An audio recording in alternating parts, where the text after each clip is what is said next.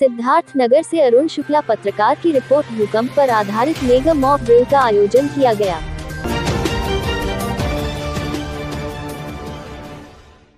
सोमवार को जिला आपदा प्रबंधन सिद्धार्थ नगर द्वारा भूकंप पर आधारित मेगा मॉक ड्रिल का आयोजन किया गया।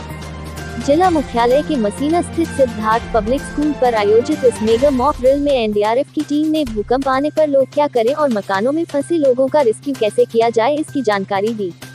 भूकंप को लेकर इस मेगा मॉक ड्रिल में एनडीआरएफ के जवानों ने ऊँची बिल्डिंग में फंसे लोगों और घायलों का अपने संसाधन से रेस्क्यू किया और आम लोगों को बिल्कुल भी परेशान न होने की हिदायत दी। इस मेगा मॉक ड्रिल के बारे में मौके पर मौजूद जिलाधिकारी दीपक मीणा ने बताया कि सिद्धार्थनगर जिला भूकंप जोन की सेकंड सेंसिटिव जोन में से एक है। ऐसे में समय समय पर एनडीआरएफ द्वारा विभिन्न क्षेत्रों में इस तरह के मॉक ड्रिल का आयोजन कर लोगों को जागरूक किया जाता है। जिलाधिकारी ने बताया कि अभी सिद्धार्थनगर में बाढ़ ने तांडव मचाया था। ऐसे में एनडीआरएफ की टीम लगातार बाढ़ प्रभावित क्षेत्रों में लोगों की मदद कर रही थी। अब भूकंप को लेकर लोगों को यह टीम जागरूक कर रही है। आपको बताते चले कि भारत नेपाल सीमा पर स्थित सिद्धार्थनगर जिला भूकंप के लिए बनाए गए पाँच जोन में चौथे यानी सेकंड डेंजरस जोन में आता है। ऐसे में इस तरह के मॉक ड्रिल के माध्यम से लोगों को जागरूक कर भूकंप से बचने के गुर समय समय पर सिखाए जाते हैं। बाइक दीपक मीना, जिलाधिकारी Siddharth Nagar. Bike Manoj Kumar Sharma, deputy commandant NDRF. Siddharth Nagar seismic zone four में आता है, जो कि हाई रिस्क जोन में आता है। उसी के मद्देनज़र यहाँ आज भूकंप पर एक मेगा मॉक एक्सरसाइज का आयोजन किया गया था।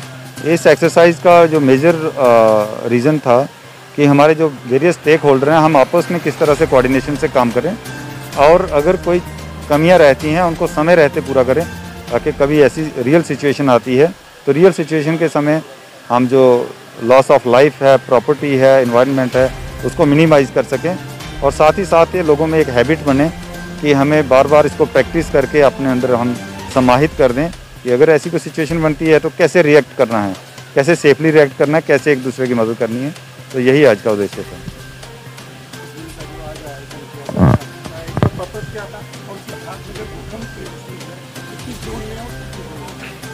नहीं, देखिए एनडीआरएफ के द्वारा रेगुलर बेसिस पे मॉक ड्रिल्स आयोजित करवाई जाती हैं और हर ईयर हम ऑलमोस्ट फ्लड की, क्योंकि ये फ्लड अफेक्टेड रीजन है तो हमेशा फ्लड की मॉक ड्रिल्स करवाते हैं। पर जैसा आप लोग जानते हैं कि तराई बेल्ट और हिमालयाज के पास में रहने की वजह से एक सीस्मिक फोर जोन में ये ज़िला आता है।